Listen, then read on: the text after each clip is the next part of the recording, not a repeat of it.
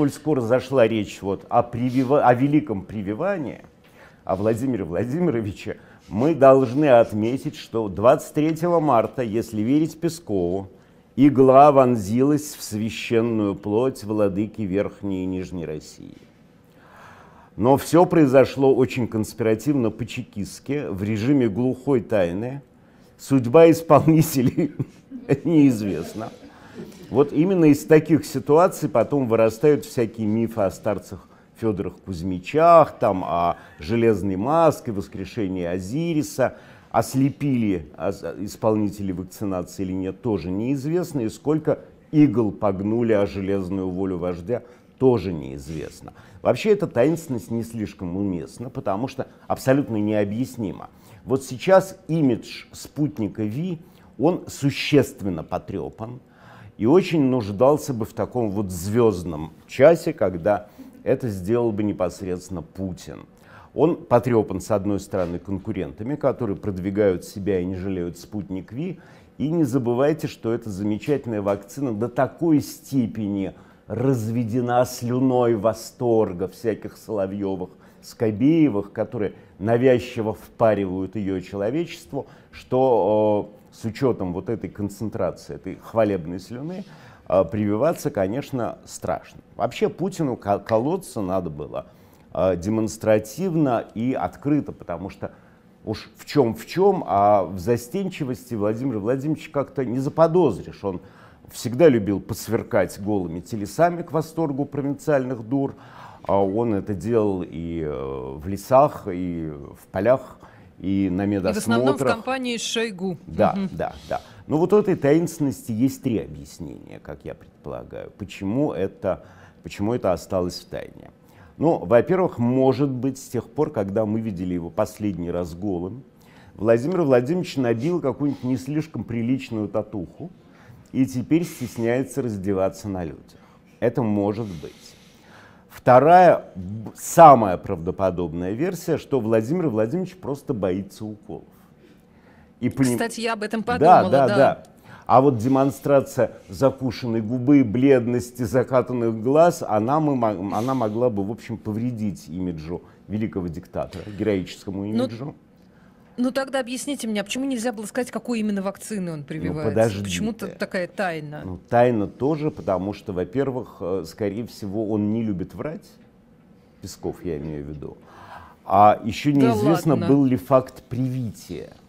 Но вообще, почему диктаторы боятся уколов, это многие, я посмотрел, очень многие боялись, но они боялись оправданно, потому что, например, уколы в зад они получали при помощи большого струганного кола, и это действительно глубокий укол, очень неприятный.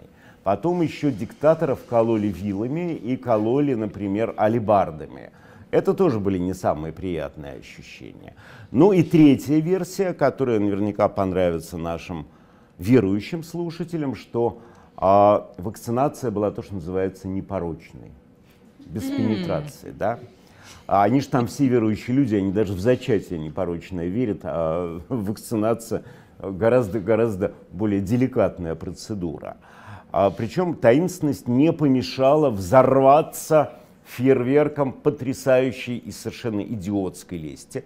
А, как всегда, очень умный мой любимец Онищенко сравнил таки решение Путина вакцинироваться с поступком Екатерины Великой который тоже в свое которая время... Прививала оспу. Да, но вот он плохо знает матчасть Онищенко, потому что это очень сомнительный комплимент.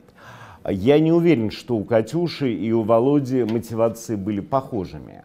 А, Катя действительно, прививая себе болезнь, делала шаг в абсолютную неизвестность. Но так у она нее и были... Павла привела, насколько я у помню. нее были особенные причины. Павел ее мало беспокоил. Она не пиарила вакцины, Катюша извелась тогда от сексуального воздержания, на которое ее обрекал карантин по оспе.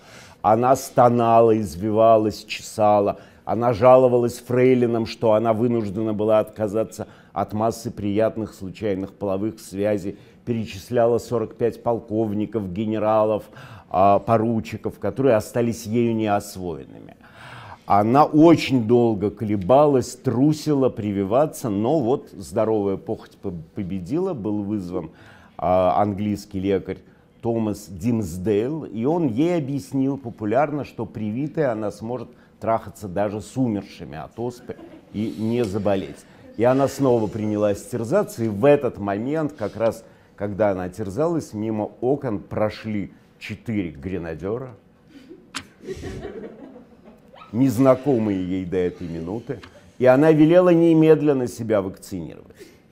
Но правда, когда это Вы произошло... это все сводите к тому, простите, что Владимиру Владимировичу Нет. очень нужно к выборам все-таки поучаствовать в каких-нибудь массовых мероприятиях, и его прям так распирает так необходимо. Не Об этом, кстати, Песков и сказал. Песков мы не прям знаем, вакцинировался сказал. он или нет, да? Но вот тогда, кстати, вакцинация Екатерины сопровождалась салютами, орудийной пальбой, постановкой тематических пьес. Все послы примчались с поздравлениями о того приютского мальчика, от которого взяли а, оспенный гной, гнойный труп. Если ты знаешь, его возвели в дворянское достоинство, дали фамилию Оспенный, дали дворянское звание, титул и 3000 золотых рублей капитала. Потом был еще один вариант, когда следующая императрица тоже прививалась таким же образом, а, но там а, тоже вот брали с мальчика образец вариолы и а, там дали фамилию Вакцинов. И в принципе я вот подумал, что академикам, создателям спутника Ви из Гам Гамалейского центра тоже бы следовало поменять фамилию. Вот Гинзбург мог бы гордо носить фамилию Прививкин. А Борисевич мог бы стать антиковидманом. И это было бы тоже очень красиво и звучало бы здорово.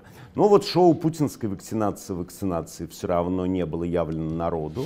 Почему они не создали этот э, маленький милый театр? Им ничего это не стоило. В конце концов, э, они, вероятно, просто не знают, что есть такая штука под названием игла Штрайдбергера.